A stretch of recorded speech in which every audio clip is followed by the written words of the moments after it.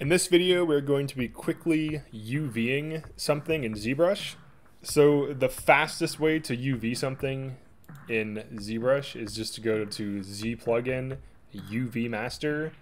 Uh, in this case, we do not want symmetry because this is an asymmetrical model and then turn that off and just click unwrap. However, this result will likely not be the best it could be. So we're going to use polygroups to unwrap this. And before we do that, we have to create the polygroups. So polygroups can be viewed here, and you should turn on this, because this color, even though it might seem random, is actually used for something. So if we use auto groups, you see the color changes, it just grouped this into its own thing, even though it currently was in its own thing. Uh, the reason why that is, is it's looking for multiple different objects to group them. Uh, so what you can do is you can group, you can group by a few different things.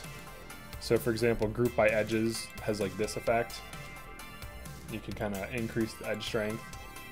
Uh, this is not what we're going to be doing. Uh, you can group by normals. The normals should pretty much be the same, so it should just group it all. Uh, you can group front. So you can kind of see this result and then you can group a mask. So what we're going to be doing is grouping by mask. Uh, so first I'm going to turn off dynamic perspective. You can click on this or just hit P and then B for brush, M for mask, L for lasso.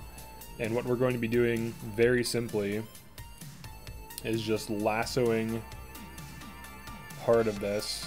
So I'm trying to get like the shell to some degree, not not 100% accurate, but because it's like the shell is asymmetrical, but I'm just trying to get parts of the shell so that when I group masked, it has a little section there. I probably don't want something like that.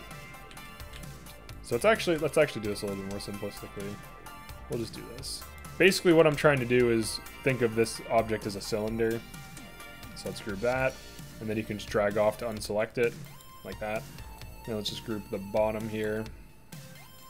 This is a quick and dirty way too. This is not the best way to do this. Um, then we can do something like select into this a little bit, get back here, select into this a little bit, and then group that. All right, so you have, these are really similar in color, but this there's like a back group, a top, bottom, and then like the side. And the reason for this is when you um, unwrap this, it'll try to flatten everything. So you want it to break apart in sections. Now, this is a quick and dirty way to do this. This is not the best way to do this. this is a thing, this is a, I want to paint this now. I don't care what, like as long as, you know, like especially for hand painting, you can kind of get away with this. But for using materials, you usually want UV islands that are pretty precise for a specific reason. Uh, all right, so we have our poly groups. So Z plugin unwrap. Okay, and then if you want to check it out, you can go to flatten, and then it'll show you the result. And then if you want to unflatten it, click on unflatten. So now this is UV'd. So now you can export this and import this into Substance Painter to then start painting on it because it has UVs now. So this was the quick and dirty way using polygroups. So we just selected parts of it and then went down to the polygroups tab, which is kind of near the bottom. It's under visibility, so masking, visibility, polygroups tab.